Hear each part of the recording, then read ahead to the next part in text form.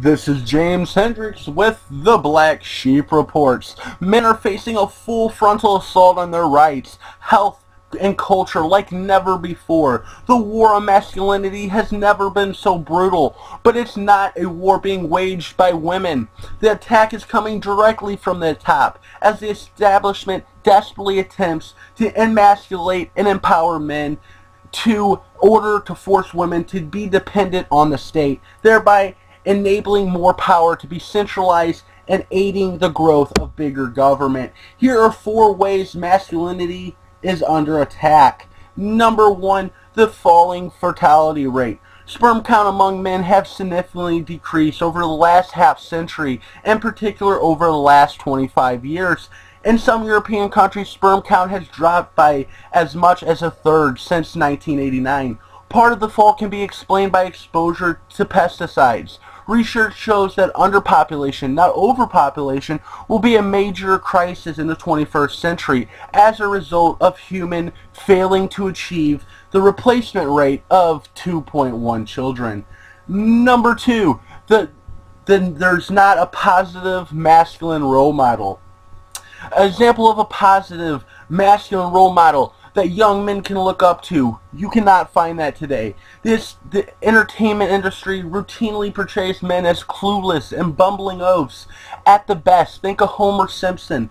Everybody loves Raymond, married with children, or at worst, an aggressive sex predator like in Two and a Half Men. Since advertising is primarily aimed at women, men in commercials are also now routinely depicted as either being emasculate losers or stupefied morons. Young men consuming this content grow up thinking that it is acceptable and even encouraged to aspire to these character traits. In doing so, they are robbed of their national masculinity and find it extremely difficult to attract well-rounded women who are rightly disgusted by such behavior.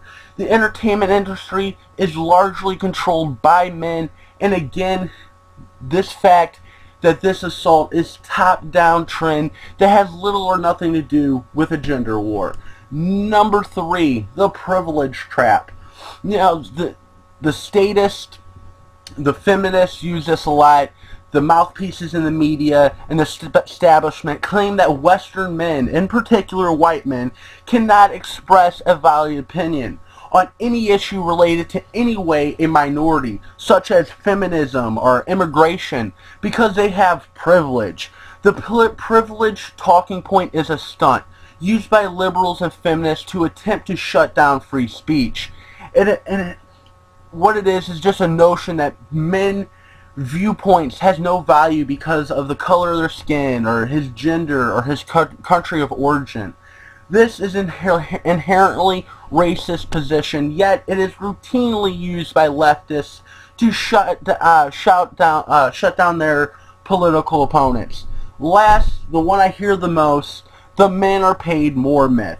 The establishment promotes this myth that men are paid more than women because of discrimination, feeding into the feminist doctrine about a particular system opposing women in the workplace. In reality, the wage gap of the 19 cents between the two sexes in the United States is explained by a number of reasons that have nothing to do with discrimination, including the fact that men work more hours and men seek less desirable jobs that pay higher.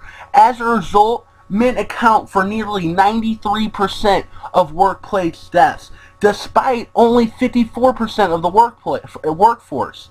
94% of workplace suicides every year are also men.